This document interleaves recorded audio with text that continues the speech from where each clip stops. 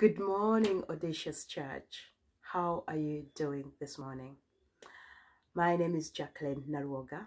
I'm a college student at Audacious College, or I like calling myself first year graduate. I am humbled this morning to be sharing devotional with you today.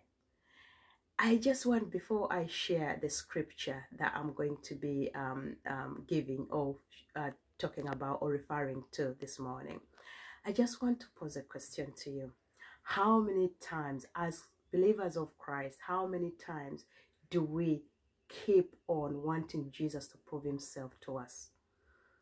We trust him, we have faith in him as the absolute provider. He is our pillar we have every every every all the evidence he's done so much in our lives but we still when we are faced with with a situation we still want him to prove himself. I'll just share a bit of my story just a tiny bit. When i started uh, audacious college in october sorry it was september 2020 it was coming it was towards the end of september. And the same month, September 30th, my contract in work was coming to an end. Yeah. So I started college not knowing if my contract was going to be renew, re, re, renewed or if I was going to have another contract in the shortest time period. I started with a lot of excitement. I was excited to start and everything was going absolutely fantastic. And then towards uh, towards come end of, of September, my manager said, Jacqueline, we're extending your contract for another month. Instead of being oh praise Jesus, being happy and giving thanks, gratitude and thanks, I was like, ah, why is it only a month? Because I was used to having the shortest contract I had had was three months. Normally it's three months, six months, or even longer. So to me, I started having these feelings of anxiety. I was fearful, convincing myself that this was evidence or this was a sign that I made a wrong decision. I shouldn't have gone to college. That is how I had convinced myself. I went through the whole month of October worrying, worrying, and worrying over and over again. But luckily, every single word that was shared during the session, the first few sessions we had, was encouraging to me. And I, st- I, I, st- I stuck it out. I stayed. I didn't give up. Now, not only my contract was extended further than October, as I am sharing this devotion with you this morning, I am still in the same job. My contract has been rolling and rolling and rolling over and over again. Isn't that fantastic? Can I just share my scripture, the scripture that I want to share with you today? It is Matthew 14.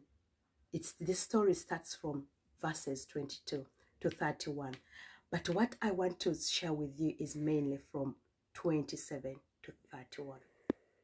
So, just to give you a bit of context, this is after the event, the famous event in Matthew, in the Gospel of Matthew, feeding the 5,000.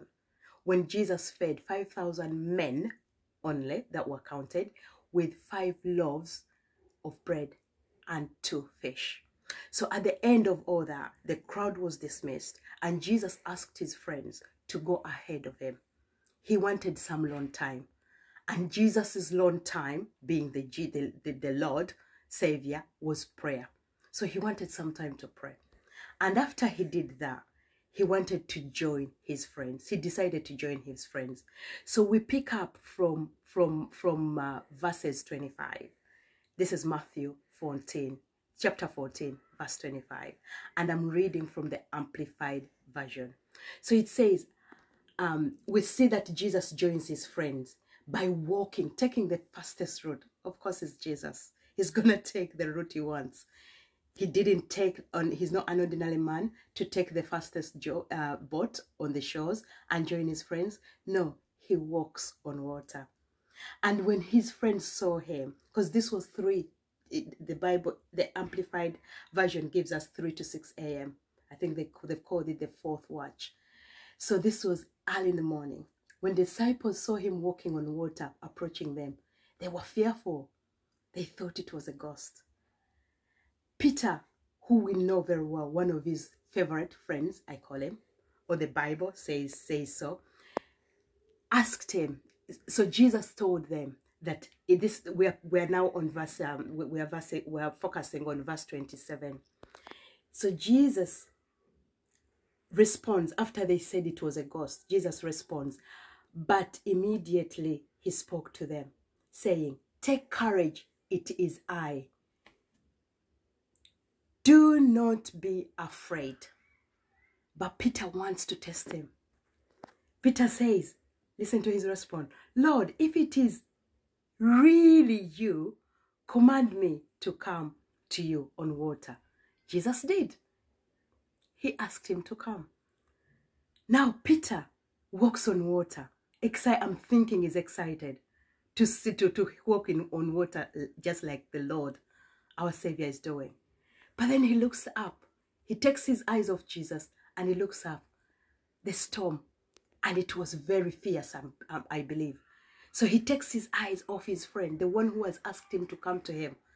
The one who he knows very well, who he's just witnessed a few hours ago feeding 5,000 men with just a tiny bit of food that was there. He takes his eyes off him. So he's in doubt. He's fearful of the storm. And what happened next? We all know. He sank. He started sinking. And this happens to us, all of us. These guys were with Jesus all the time. They had seen so much that he had done. So much he had done at that point. But still Peter was in doubt. Was in doubt. He didn't look at Jesus. He didn't focus on Jesus. He looked away and was afraid. So in other words, he thinks the storm is bigger than Jesus. And that happens to us all the time. It happened to me when I was fearful. Oh, maybe I'm, I'm made the wrong decision. This is not what I need to do. No, no, no, I shouldn't be here. I need to be in work. This is a sign. Because my contract for the first time had been extended for one month. But the Lord had directed me to do college. I took my eyes off him and I focused on what was around me. And for a full month, I was worried. So I want to encourage you, church. This is a beautiful story. I've actually been focusing on this story during the tough times we've had for the last 18 months. That you, my eyes are only focused on you. Whatever is going on around me, it may be worrying. It may be causing a lot of anxiety, but you shouldn't worry. I encourage you to take courage. Just like Jesus said, take courage. It is I. Do not be afraid. I hope that inspired someone today. I want to wish you a, a, a, a, fantastic day today and whatever you're up today. May God bless you so much. Thank you.